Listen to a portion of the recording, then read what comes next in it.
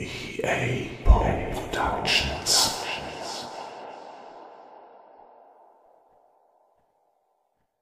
EA Poe Productions liest Märchen der Gebrüder Grimm.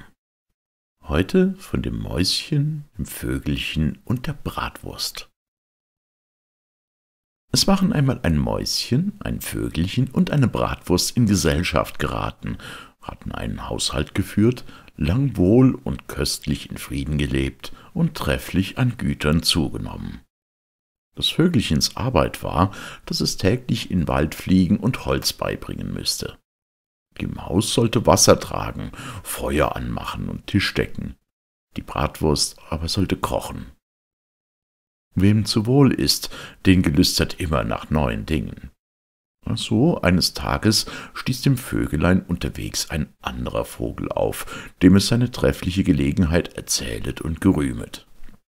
Derselbe andere Vogel schalt es aber einen armen Tropfen, der große Arbeit, die beiden zu Hause aber gute Tage hätten. Denn wenn die Maus ihr Feuer angemacht und Wasser getragen hatte, so begab sie sich in ihr Kämmerlein zur Ruhe, bis man sie hieße, den Tisch zu decken. Das Würstlein blieb beim Hafen, sah zu, dass die Speise wohl kochte, und wenn es bald Essenszeit war, schlingte es sich einmal viere durch den Brei oder das Gemüs. So war es geschmalzen, gesalzen und bereitet. Käme dann das Vöglein heim und legte seine Bürde ab, so saßen sie zu Tisch, und nach gehabtem Mahl schliefen sie sich die Haut voll bis an den andern Morgen, und das war ein herrlich Leben. Das Vöglein anderen Tages wollte aus Anstiftung nicht mehr ins Holz, sprechend, es wäre lang genug Knecht gewest und hätte gleichsam ihr Narr sein müssen. Sie sollten einmal umwechseln und es auf eine andere Weise auch versuchen. Und wiewohl die Maus heftig dafür bat, auch die Bratwurst, so war der Vogel doch Meister. Es musste gewagt sein, spieleten darowegen und kam das Los auf die Bratwurst, die musste Holz tragen. Die Maus ward Koch und der Vogel sollte Wasser holen. Was geschieht?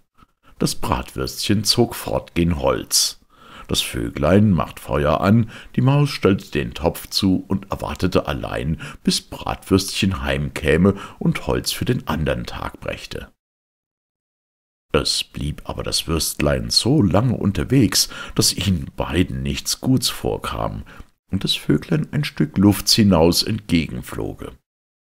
Unfern aber findet es einen Hund am Weg, der das arme Bratwürstlein als freie Braut angetroffen, angepackt und niedergemacht. Das Vöglein beschwerte sich auch dessen als eines offenbaren Raubes sehr gegen den Hund, aber es half kein Wort, denn, sprach der Hund, er hätte falsche Briefe bei der Bratwurst gefunden, deswegen wäre sie ihm des Lebens verfallen gewesen. Das Vöglein, traurig, nahm das Holz auf sich und heim und erzählete, was es gesehen und gehöret. Sie war sehr betrübt, verglichen sich aber das Beste zu tun und beisammen zu bleiben. Derowegen, so deckte das Vöglein den Tisch und die Maus rüstete das Essen und wollte anrichten und in den Hafen, wie zuvor das Würstlein, durch das Gemüs schlingen und schlupfen, dasselbige zu schmelzen. Aber ehe sie in die Mitte kamen, ward sie angehalten und musste Haut und Haar und dabei das Leben lassen. Als das Vöglein kam, wollte das Essen auftragen, da war kein Koch vorhanden.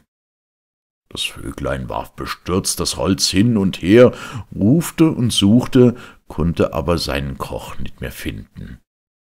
Aus Unachtsamkeit kam das Feuer in das Holz, so also, dass eine Brunst entstünde. Das Vöglein eilte Wasser zu langen, da entfiel ihm der Eimer in den Brunnen und es mit ihm hinab, dass es sich nicht konnte mehr erholen und da ersaufen musste.